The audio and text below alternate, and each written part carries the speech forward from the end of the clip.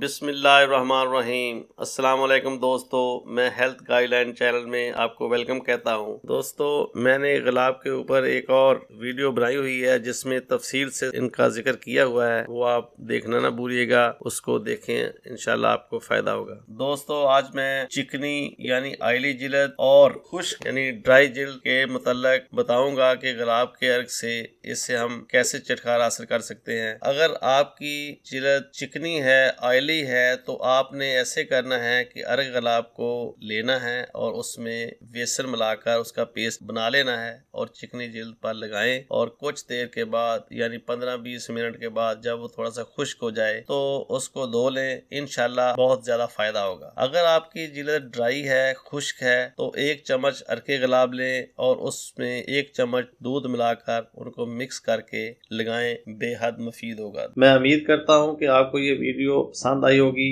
اب میں اجازت چاہتا ہوں دعاؤں میں یاد رکھیے گا اور میری حوصلہ افزائی کرتے رہیے گا تاکہ میں آپ کے لیے اچھی اچھی ویڈیو اور فائدہ مند ویڈیو بنا سکوں اللہ حافظ